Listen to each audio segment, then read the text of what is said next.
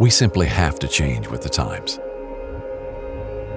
Where some saw an industry in decline, others saw an industry that is undergoing a transformation, renewal. The future my daughter imagines is the world I'm helping create today.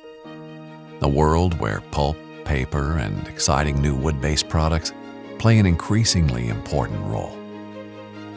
To achieve true profitability, efficiency, and sustainability, while meeting ever-growing global demand, new processes are needed, and old ones must be improved on. And at the heart of each process, you will always find valves. The kind of valves we design and deliver to bioproduct mills around the world. By making intelligent valve choices, you can make a real difference in terms of the reliability, controllability, and stability of your processes, translating into sustainable success for the future.